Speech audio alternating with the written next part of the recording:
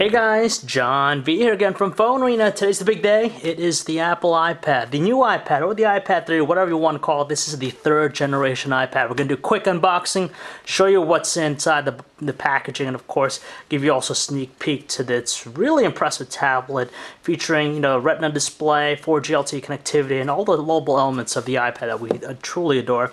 So, in terms of packaging, very similar to the, its predecessor, same size box, looks, everything about it. It's pretty much much intact. You get a really nice profile view of the tablet showing off its streamlined construction. On the front here you have a logo for iCloud. Uh, on the side here iPad, iPad, and on top you have the Apple logo. In the back, flip it over, you have just some pertinent information as to which version you're getting.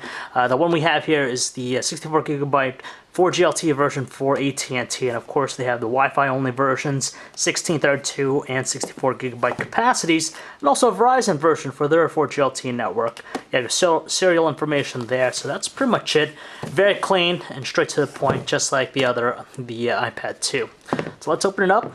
There's just a little bit of suction to it. Once you have it open, there it is. Here is the iPad. Now, just looking at it, it's almost indiscernible as to, uh, you know, it's hard to tell which is the iPad 2, which one's going to be the new iPad, just because it, this one looks just like its predecessor. Same choice of materials, design, looks, construction. It has a good solid feel to it. Let's take off the plastic here. And here it is. Here it is. And again, just uh, very hard to say what the differences are, you know, just uh, in terms of uh, looking at the device for the very first time. But still very nice in the hand, you know, good. There's a little bit of weightiness to it, but that's, you know, that's uh, accompanying its uh, premium choice of materials. You have the milled aluminum back cover, which has been a distinguishable feature on the iPad since the first generation one, but everything else is exactly the same.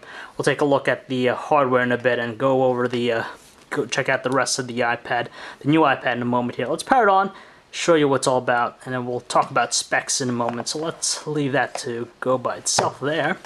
So as far as the rest, it shouldn't be a surprise. You have the uh, wall charger here, US version. If I could get it out. There it is. This can be removed and you could have different adapters for different countries. Let's take a look and see what they have this time. Here you have uh, the uh, SIM card uh, removal tool here because this is uh, 4G LTE version. There's a micro SIM card slot. You have the documentation, the important, the uh, important product information guide, and of course those Apple decals. Of course, it wouldn't be an Apple device with those uh, decals in tow. And let's see what else we got here. The iPad's turned on, so it is on.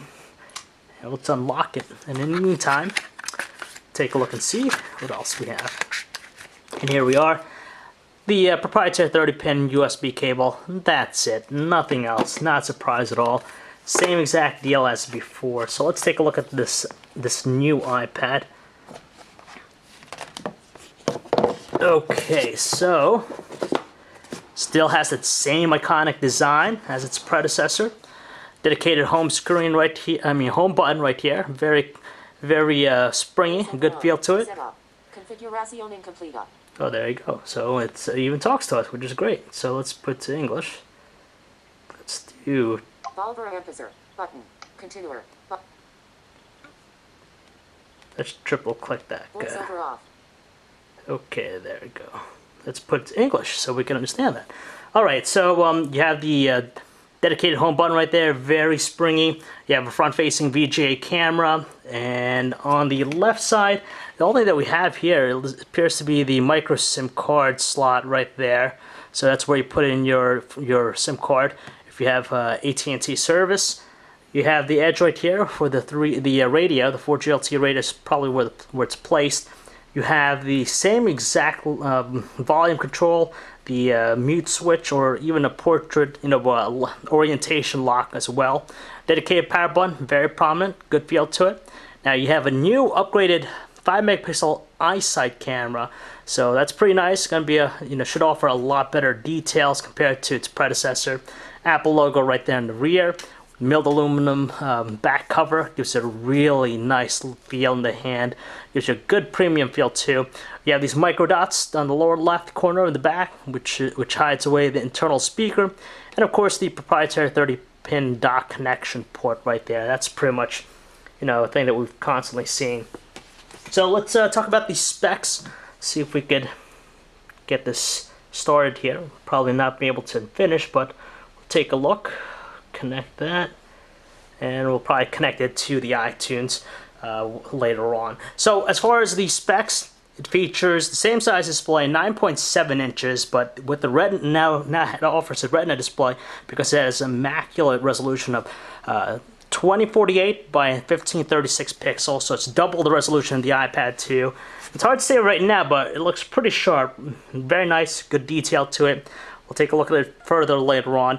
Uh, it's an IPS LCD panel, so it's supposed to give the same exact, you know, uh, results as before, wide view angles, uh, accurate color reproduction, high contrast. So it should work well even in outdoor conditions. Uh, it features a dual-core Apple A5X uh, system on chip. So uh, it has a dual core processor running at 1 gigahertz in there and has four cores, uh, four, gra four graphics processing cores. So that should help it out tremendously as far as the performance and operation. And of course, um, it has iOS 5.1 preloaded and that's the latest and most up-to-date iOS experience out there. So we're pretty excited about this guy. Should no doubt be a very appealing tablet and if you want to learn more about it, you can check out our website, guys, phonearena.com. This is John V. I'll be checking this guy out, and you can check back later, and we'll show you what else it has to offer.